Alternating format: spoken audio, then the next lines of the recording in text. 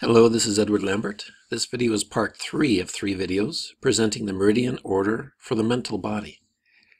This video covers the third four steps in the order which develop the understanding, beliefs, and attainment of the thought process through the steps. Steps 9 and 10 are titled Systems Blend into Harmony.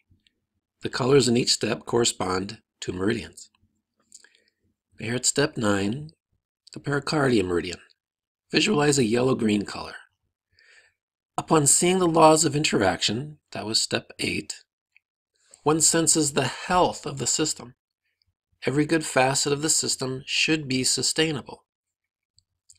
One sees cycles and rhythms of the vision arriving at a balance to support life. One senses the love that connects all forms of life. One reviews their own life and reflects upon thoughts, actions, and desires to see how they impact others in the environment. Our thoughts overcome fear to know how to love and care for life. So this is the beginning steps of understanding. We begin to see how individual aspects of the whole system, of the whole interaction in the world, lead to harmony.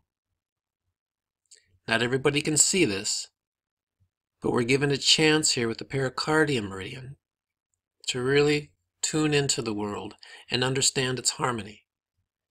Some people just want to take from the world. They see it, they grab it, and they move, and they don't have the wisdom, they don't have the knowledge, they don't have that sense of harmony to know that the world is being disrupted. They don't know how to care for the world. But in this step with the pericardium, when you really become to understand the nature of the world, you love it. Like, see this woman over here giving a, a big lion a hug. That's, that's the power of the pericardium meridian to nurture, to understand, to show love, to appreciate one's place in the whole interaction of life. Now here we go on to step 10, kidney meridian. Visualize a violet color.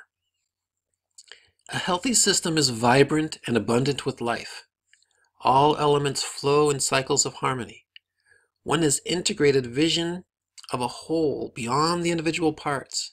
This is a higher mind perception. One is seeing the whole system. One sees their life as a whole system composed of interactions between self and others and within the environment. A complete multifaceted vision unifies within our subconscious one really has gone beyond that one image in step three that came into focus within the, the abstract forms of the mind light substance. And then a world was created around that. And now one is going to the point now beyond that one image to see a complete unified image of the whole system. A complete multifaceted vision unifies within our consciousness. This is another high state of meditation. To reach this point in meditation where one feels the unity of all life elements, of all the elements in the world, it is a beautiful vision. It is a beautiful meditation. It's a wonderful thought process. To not only see the cycles and the rhythms of life, but to really see their unified harmony now we go on to steps 11 and 12. These steps are called complete thought is planted. In step 11, with a Sanjiao meridian, we visualize a purple color. The whole vision coalesces into the form of a seed to be planted. Now just imagine there in, the, in step 10 with the kidney meridian where you have this unified universal vision. But now take that vision and coalesce it down into a small seed form. You're integrating all thought and understanding at the step into a seed form. And this happens with every thought we have. Every emotion, every desire, every thought is creating a little seed form. And these seed forms will last from lifetime to lifetime. They sit in our subconscious and they wait to be manifested. They seek. They some, many of them control our actions. They control how we think, how we, how we eat, how we talk, how we respond to other people. And these, all these thought processes become seed forms that sit within our subconscious. And these thought seeds are created in the hypothalamus to be carried to the third eye. Advanced meditations reach this state consciously. The goal is to sow spiritual thoughts to reap a higher destiny. Now, just like here to the right, we see the whole world in the hand of a person. This is the idea where you've taken your whole unified vision in step 10, the kidney meridian, and you've condensed it down to a concentrated form. Now, in step 12, which is the ultimate step in the mental body, we have the small intestine meridian. You visualize a blue-green color. The complete thought seed, which was formed there in step 11, is carried to and planted in the third eye, where the first meridian of this whole mental body order, the bladder meridian, awakes. Mystics say that the, the thought seed, which is created in step 11, sits in the third eye and leaves the body from there to manifest itself in your life. Thought seeds seek fulfillment and direct words, desires, and actions. They can direct your the words, desires, and actions.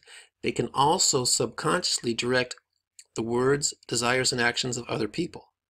They have power. They resonate. They affect one mental body and another mental body and seek to fulfill themselves.